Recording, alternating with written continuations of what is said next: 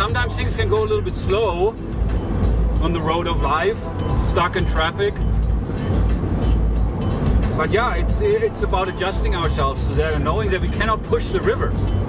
We cannot force it. It's Trying too many times, driving ourselves crazy over not only being stuck in traffic, but then we say we have a bad day.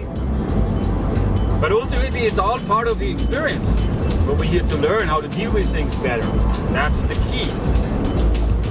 To remind myself of that, to let go of my need to try to change things outside of me, try to change things that ultimately cannot be changed. And while I've talked about this many times before, and other people have talked about this many times before, that's it's the key. That's the key to personal growth, to self-transformation. To know what we cannot change and to give our, up our need to change those things which lie outside of our control. It's so simple, but yet it's so difficult. It's even if you're stuck in traffic, it's about how to use your time. You can listen to a tape, make a recording, you can sync, you can always sync. Go to grocery store and there's a long line. Instead of driving yourself crazy, it's part of a paradigm shift, you know, to look at it differently. It is what it is. And it is about how to use our time, how to use our space instead of, yeah, getting upset over what ultimately cannot be changed. I I repeat myself here, it's just a reminder because it's very, very important. I myself have to learn that. That's where I, uh, where the idea that life is learning comes from. About how to deal with things, how to deal with frustration, how to deal with loss, disappointment, rejection, judgment, And so what I am trying to do is to raise awareness to that. That especially in, in difficult experiences. You have loss, heartache, suffering. They all teachers. And it really is about what we learn from that. The lessons we have received on a, uh, on a personal level, on an emotional level, mental level, intellectual level, the art of living. Idea that we're all unique, that we're all special, that, that love is the way, that's what God is all about. We forget these things. I really believe that children already have that awareness as we come into this world as spiritual beings. We know that love is the way. We know that this is what God is all about. God is peace. God is truth and the light. As, as we uh, grow up in this world, we become conditioned to look outside of us for answers, pursue happiness, try to find God, find success. But yeah, ultimately we all have that awareness within us. Regardless of how it has been conditioned out of us, how much we have forgotten, we still have that awareness. And that's the idea of truth can only be found by looking within. All have that truth. So I hope I can encourage others to look within themselves to find those answers. It, it needs to uh, come to you as a result of your own critical thinking. That's the key. That is the key awareness. So I've created uh, this uh, thought-provoking title of Teacher of Learning. Mean, you cannot teach learning.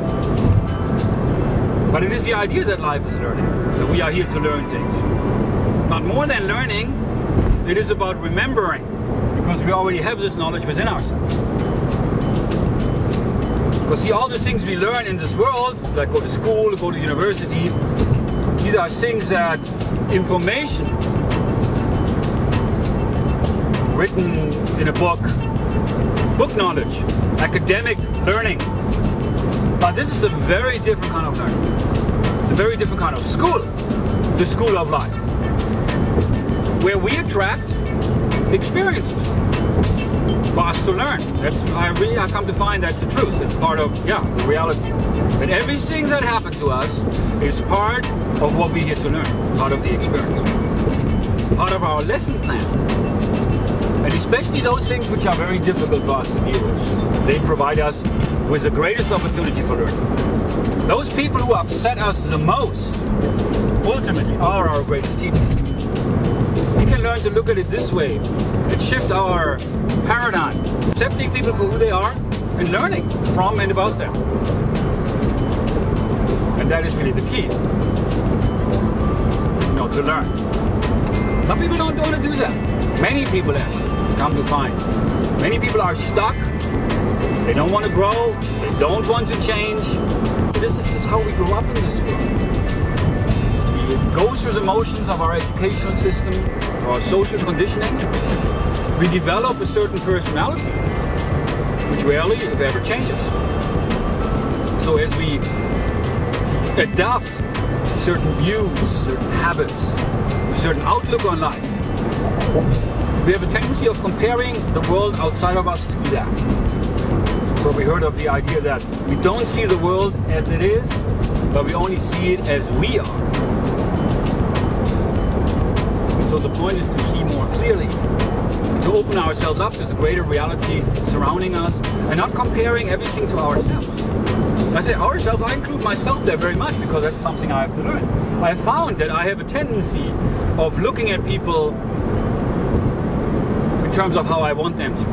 And when I receive, for example, judgment, which I'm very sensitive to that, when I receive or I, I perceive that people focus on what their expectations of me, I become very defensive and I, yeah, I am not as open anymore. So that's something that I realize for myself I have to work on. Welcome again to the School of Life. Welcome to the experience of life, which we are here to create, because we create our experiences. We are all co-creators in this thing called life. We create everything that happens to us. Or we attract everything that happens to us. Absolutely, this is about the law of attraction in action. What we are learning, what we pick up along the way, it's different from person to person, of course. But in order to become aware of that, it is essential to share them. Share it in a group. Share it with yourself. Talking about it. Because if you don't do that, you don't know what you know. So ultimately, we are what we know. We are what we have learned. Yeah, I'm not talking about what we learn in school. I'm talking about what we learn about ourselves. What do you know about this? What are the lessons you have learned as a result of your own experiences. What happened to you in, in the past. Very important to understand that. The path which has led us to where we are today has created our own perceptions, our own views, our own reality. Realizing that, that's the first step. So I, I put together this little program here on YouTube, and also my intention is to develop this further inspire some other people to look at their own lessons, realize their own challenges in order to move beyond Because that's about improvement. That's the thing about development, about evolution, change. It's a process. It's the essence of life. But the question is really, how do things change? For us human beings, it's very different, of course, from animals plans, of course, because we have a sense of awareness. We have a mind. We have free will. But yeah, what, what, what directs that process of evolution for us human beings is learning.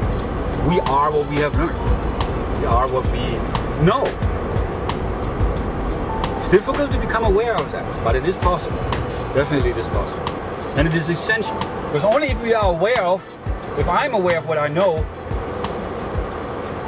if I'm aware of who I am, then I can begin on the process of who do I want to be? How do I want, what do I want to change about myself? And how can I go about that?